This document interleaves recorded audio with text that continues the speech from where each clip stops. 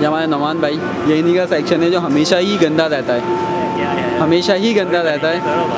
ये मतलब ये सेक्शन के मैनेजर हैं जो इनके साथ जो काम करने वाले लड़के हैं इनके अंडर जो काम करते हैं। अंगूर चखें अंगूर कैसा है मार्केट में ना? जो इनके साथ काम करने वाले लड़के हैं जिनके ये सुपरवाइज़र हैं वो जो है?